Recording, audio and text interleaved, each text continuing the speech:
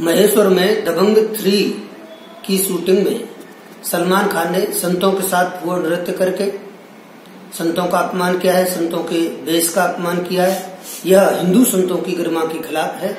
हमारे कोई भी संत फिल्मी गानों पर डांस नहीं करते।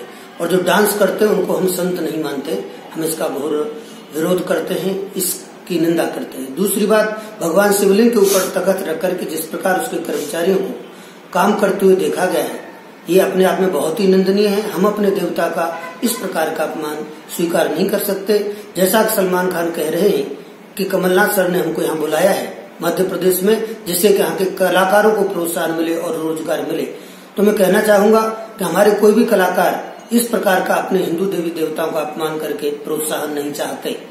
कमलनाथ सर ने आपको इसलिए नहीं बुलाया है कि आप हमारी परंपराओं के साथ खिलवाड़ करें, हमारे धर्म के साथ खिलवाड़ करें, हमारे संतों का और भगवान का अपमान करें। इसलिए हम कहना चाहेंगे कि भविष्य में भी आप जिस प्रकार का अपमान आपने हमारे देवताओं का और संतों का किया है, उस प्रकार का अपमान आप किसी अन्य धर्म के धर्मगुरुओं का और उनके धर्म स्थलों का या तो उनके देवी देवताओं का करके देखें तो आपको पता चलेगा कि किसी के धर्म की मज़ाक उड़ाने का अर्थ क्या होता है।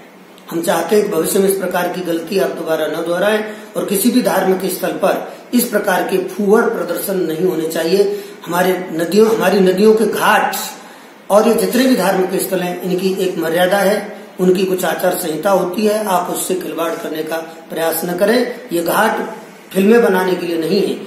अगर कोई धार्मिक शूटिंग होती है, वहाँ तक चलेगा, लेकिन कोई कोई भी इस प्रकार की फूअर शूटिंग हमारे घाटों पर और हमारे धर्म स्थलों पर नहीं की जा सकती। सरकार को भी इस मामले में हम एक आ, संत होने के नाते चेतावनी देना चाहते हैं कि सरकार को इस प्रकार की स्वीकृति नहीं देनी चाहिए।